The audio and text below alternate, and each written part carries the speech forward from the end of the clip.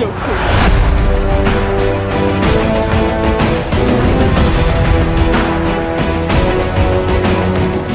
can't get any snow cones.